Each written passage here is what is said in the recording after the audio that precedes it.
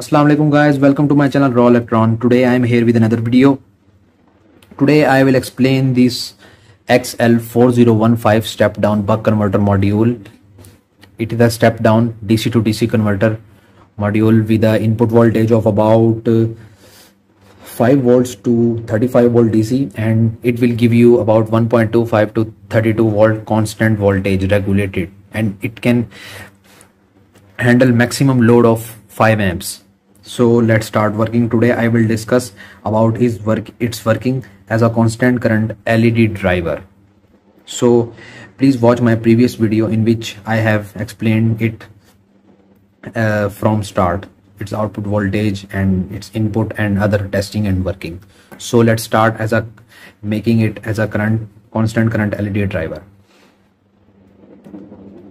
Here for connections here's the input positive and input negative. For connections I am using this DC barrel jack to make secure connections. Red for positive and black for negative. Man.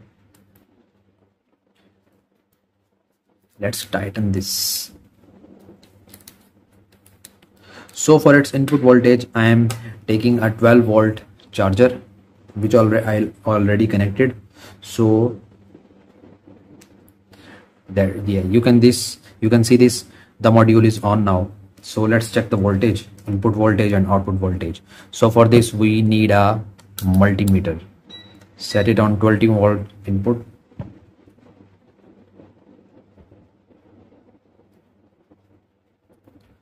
so you can check that output voltage is 11.3 volts. You can i can i will test. Input voltage is 12.39 i am powering this powering this module with 12.39 input volts. So output is 11 volts. So i will test the led strip. For example here's the led strip. It's a 12 volt led strip.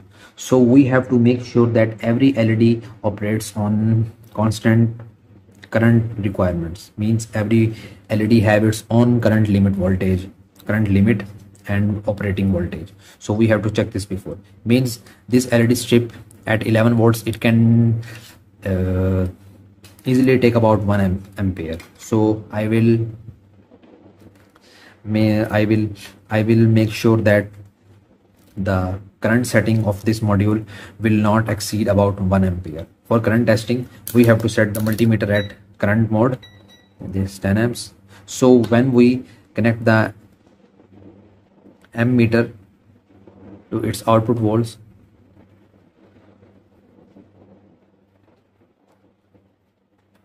let's connect to the 10 ampere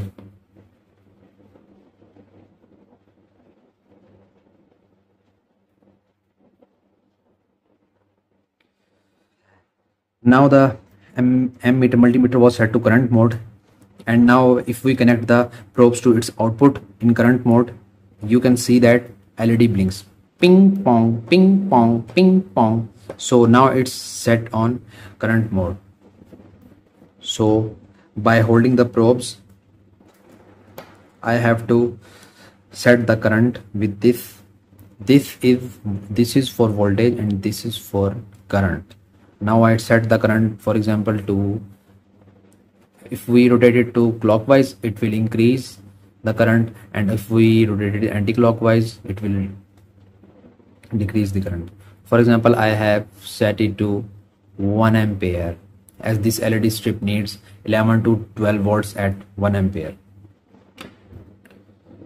Oh I forget to connect these connectors. So I forgot to connect these alligator clips. Look look these alligator clips are scary man. I have connected this. So i set the voltage to 11 volts and current to 1 ampere output max. So i will test this led strip now.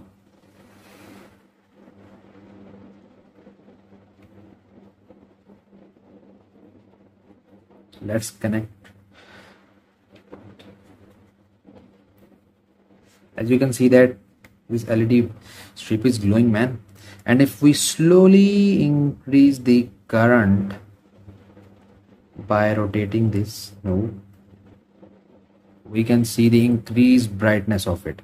But please make sure that every LED has its requirement of current and voltage. So don't overdrive the LED otherwise it will blow up or reduces its lifespan.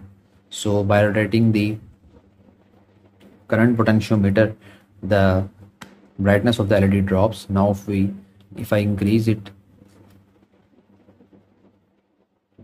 increasing current increases the brightness of the LED yes you can see that. Now I will test another LED which requires lower voltage.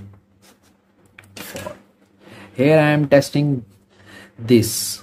This is the local Cree XML LED 5 to 10 watts rating at maximum 3.7 volts 3.7 to 3.8 volts. It operates on maximum maximum we can give 3 ampere to it. At 4 to 5 amps it can blow up. So let's test it. So for again I have to lower the voltage to 3.7 volts and set the current to maximum 3 amps. So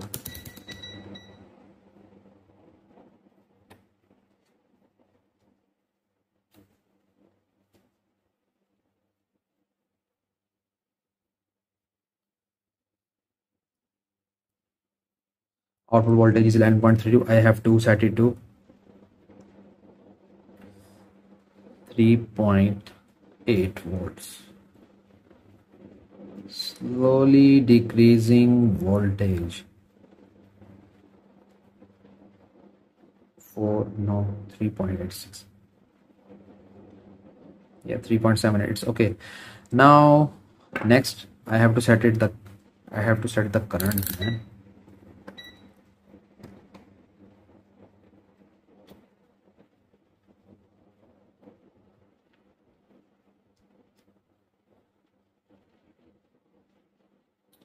set on 0.49 amps I will increase it to 3 amps almost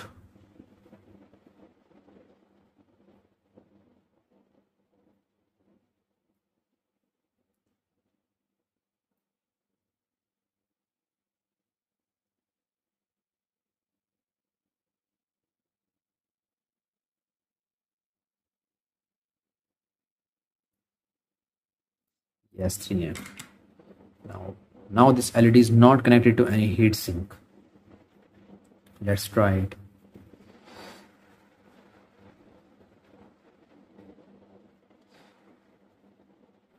Yes you can check this. This led is glowing. Oh my god it's turning so hot because i am driving it over i am giving this led over current and its heatsink is not connected. So let's test it again